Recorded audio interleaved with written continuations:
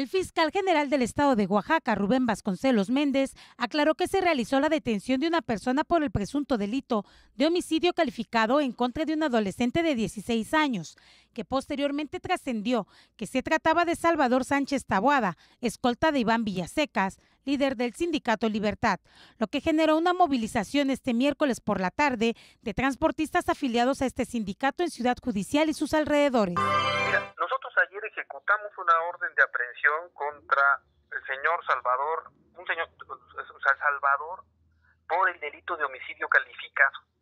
Homicidio cometido en el mes de junio, el mes pasado, contra un niño menor de 16 años en la población de San Lorenzo, Cacautepec, aquí en Etla.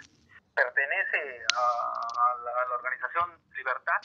Yo he dicho que nosotros, pues no nos, ante un mandato judicial y investigaciones eh, sólidas por parte de la Fiscalía en donde nosotros presumimos como responsables de la comisión de un delito tan grave contra el homicidio como un niño, no nos podemos detener acerca de que si pertenece o no a una organización social, sindical, etcétera.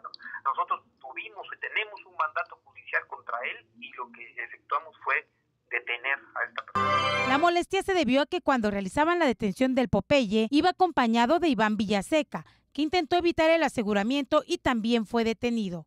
Sin embargo, será liberado en unas horas, ya que en contra de él no hay ninguna orden de aprehensión, por lo que fueron retirados los bloqueos en las vialidades que fueron obstruidas ayer por sus agremiados. Hoy en la madrugada se efectuó eh, la audiencia de comunicación de imputación y continuará para la vinculación a progreso el próximo sábado. Pero nosotros ya le comunicamos que hay una eh, imputación por parte del Ministerio Público, de la Fiscalía General, por el delito de homicidio calificado. ¿Vino usted para la desactivación de estas movilizaciones del sindicato? ¿Mantuvieron algún diálogo?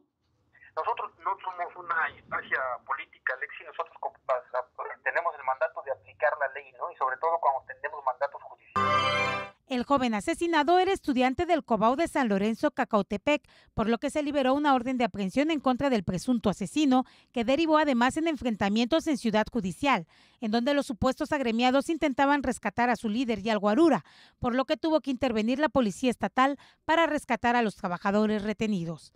Aseguró que las movilizaciones del sindicato en nada mermarán la aplicación de justicia, ya que nadie está encima de la ley. Informó para MBM Televisión Alexi Espinosa.